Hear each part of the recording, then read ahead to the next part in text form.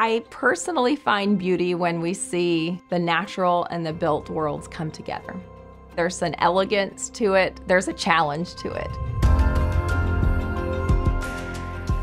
We're looking at what we refer to as multi-hazard resilience modeling. Instead of looking at individual threats like an earthquake and how bridges perform under earthquakes, we try to look at these multiple hazards or multiple threats that a system might be exposed to over its lifetime. On a hurricane, we have rainfall, we have wind, we have storm surge and waves. So it's this combination of hazards that we explore. You can't look at these things in a silo. You have to look at all the interdependencies that uh, are around them. And that really makes it the work much more complex. A bridge is a classic example where certainly we want rigorous models of that, the performance of that structure. But we also look at the role that it plays and seeing how we can improve performance of that entire network to serve society.